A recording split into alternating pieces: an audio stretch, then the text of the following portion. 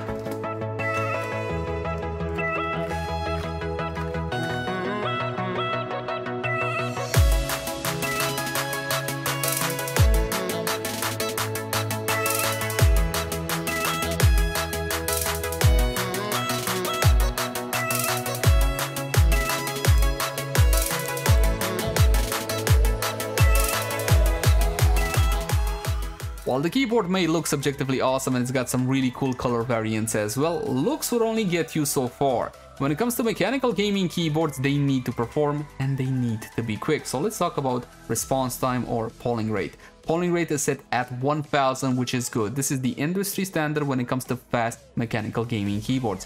That 1000 Hz polling rate will be available to you via wired connection and via the 2.4 GHz dongle. Speaking of the dongle, while the keyboard may not have a special place for you to store the dongle, you can always store it in the USB hub. This USB hub will only be made available to you when you connect the keyboard via its wired mode through the USB Type-C port. And you can use something like your mouse receiver. I even connected a 16 gig memory stick and everything worked fine. The point is you're not going to be using this to charge something heavy duty. You're just going to be using it for more lightweight applications. As for Bluetooth, you're looking at 5.0 and 125 Hz polling rate. This is ideal for office work, not exactly something for gaming when you need the keyboard to respond a bit faster. Speaking about faster, this one comes with some very special switches. In the box you saw me open up the four different types that you can select. I would recommend for gaming applications you go for the faster switches, the one that have the pre-travel at 1.2 millimeter. So for the best gaming performance, you're looking at either the NuPhy Polaris or the Cherry Speed Silvers. There are some difference between the two, but in terms of actual performance, you're looking at essentially the exact same. You're not really gonna notice a difference in response time between the two switches. Where you will notice a difference is in the actual RGB. The Polaris top and bottom housing is made from polycarbonate, which again helps out with the whole RGB because it's see-through. Also, you got a dust-proof stem, which offers more stabilities to the keys. And another advantage is the fact that they are factory lubed, and this would be my number one recommendation for gaming switches on this keyboard.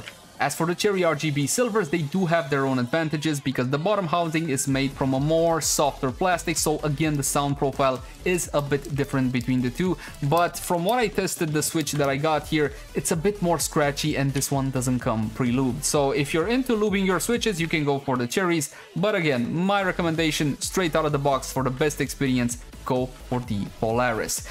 But if gaming is not your main attraction, then you gotta look into tactile switches, which are fantastic when it comes to typing. Now the switch choice here is more neck and neck, because there's really not a whole lot of difference between the two. They both have the same operating force. However, once again, the NuPhy switches, the Fleeting Gold, are made from polycarbonate, and the one by Cherry are made out of PA66. Again, the sound profile between the two will be slightly different.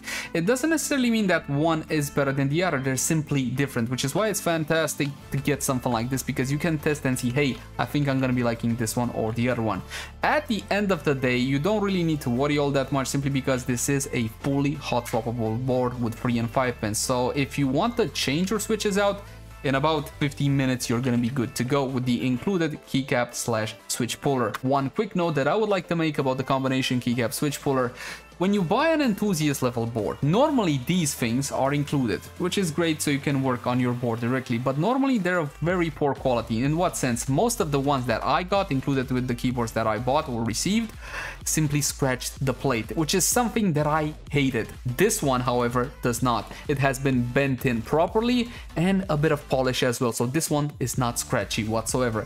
It's a small little detail, but to somebody like me, this definitely matters. The volume knob feels absolutely fantastic. It's cold to the touch, so I'm assuming it's metal. I would love to see this in more keyboards. It feels very tactile. It sounds very nice. Next you got the programmable keys G1, G2 all the way through G8 that you have on the bottom. In my opinion the little RGB wheel that you can use to toggle between all the RGB modes and you can also control the brightness of the RGB is not really necessary per se but you do have quick controls here and you don't need to use the function key. I do love however the possibility of being able to switch between USB 2.4 GHz and Bluetooth on a step just like that. I don't need to fiddle around and look, hey, where's my button? So the whole experience is a bit more streamlined. Now on the back you saw dip switches and this is honestly the first time I legitimately see dip switches on a keyboard.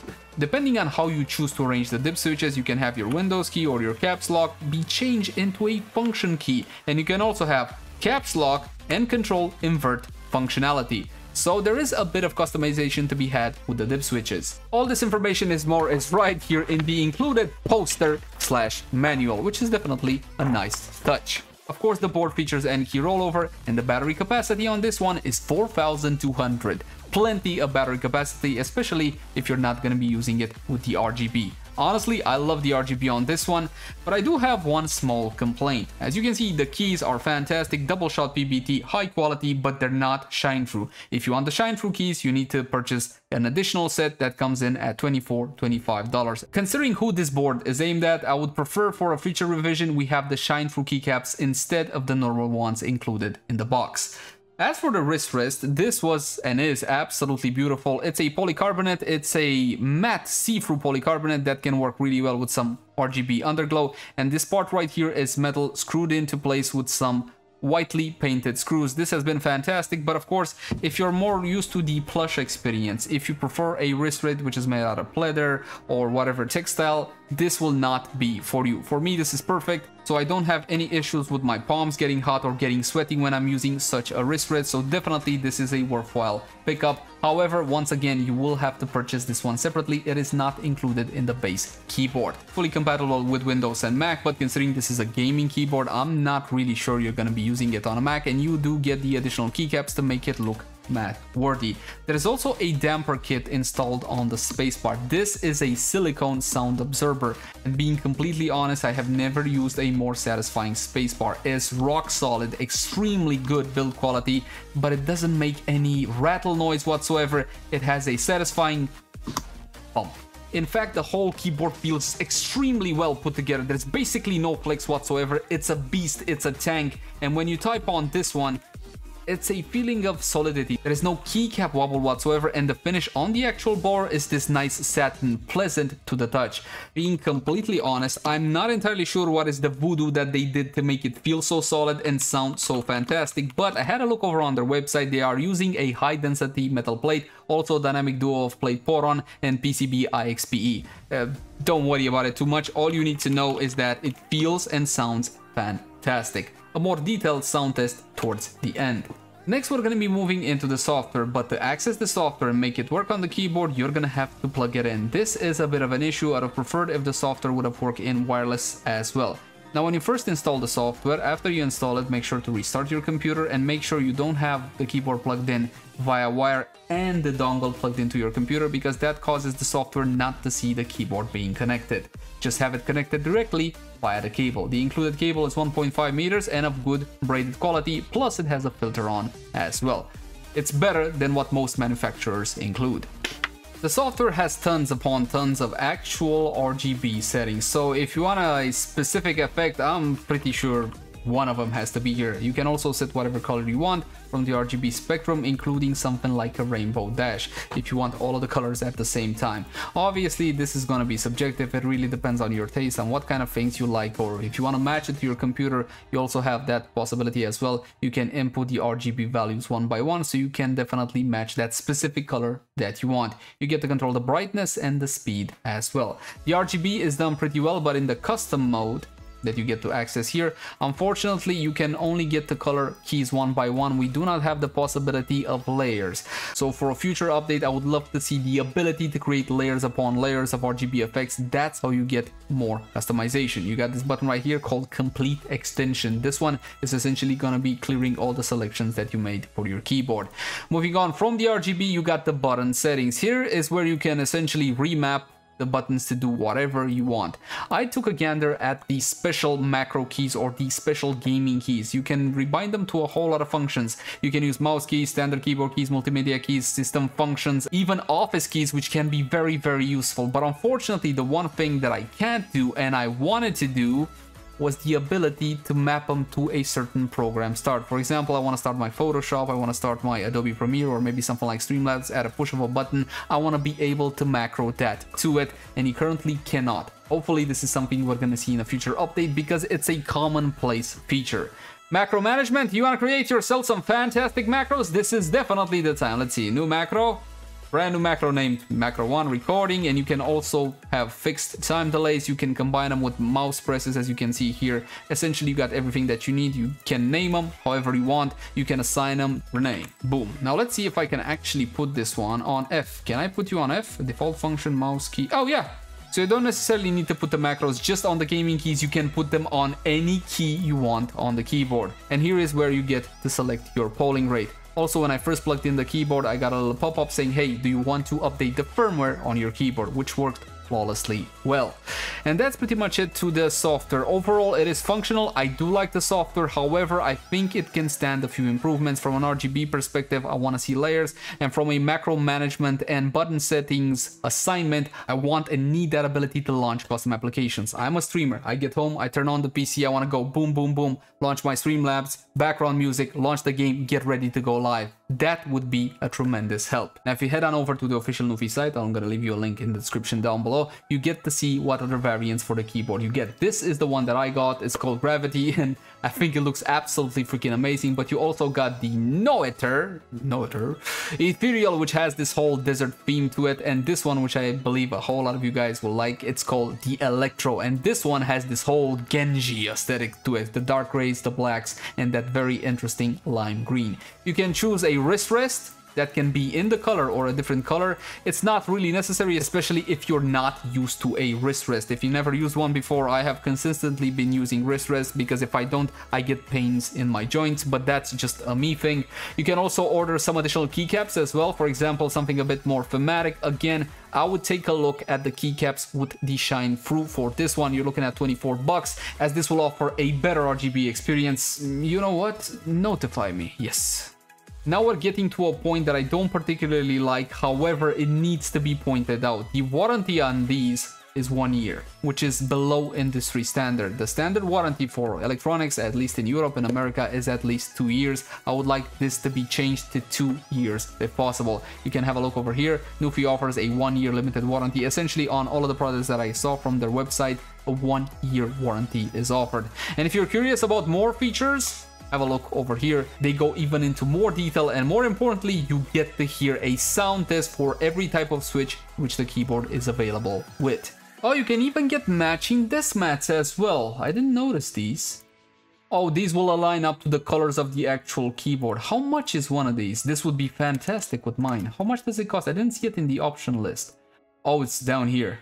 And you can add extra switches as well. You should take a look at the switches section on this one. 24 bucks for a big desk mat? That's not bad, actually. And that is pretty much it. As for a conclusion, I think I gave it away at the start. This is the best 75% mechanical gaming keyboard I have ever used. The build quality is fantastic, it's rock solid, the performance is there, lightning quick for games. And I know I may sound like an infomercial, but I have been using mechanical keyboards for well, essentially ever since they came out. I bought top of the line Razers, Corsairs, even have a couple of Logitechs, and still I didn't get this level of build quality and this experience. I can only fully recommend this product. And if you want to try one for yourself, I'm going to be dropping an affiliate link in the description down below. As always, my name is Malazar, and I'll catch you guys in the next one. So don't forget, subscribe. Bye.